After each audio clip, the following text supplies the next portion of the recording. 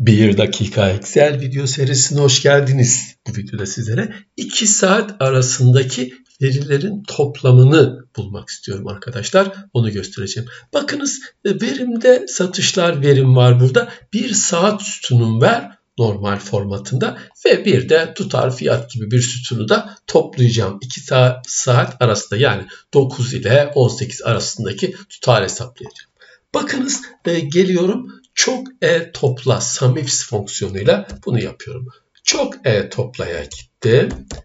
Bizden neyi soruyor öncelikle arkadaşlar? E, hangi sütun toplanacak? Burasını seçtim. Devam ediyorum. Ölçüt aralığım neresi? Buradaki saatlerin bulunduğu sütun. Devam ediyorum. Kriterleri yazmaya dikkat edin. Tırnak içinde büyüktür eşittir dedikten sonra ampersan deyip bunu belirtiyorum. Ee, onunla işim bitti. Tekrar ikinci bitiş zamanını belirteceğim.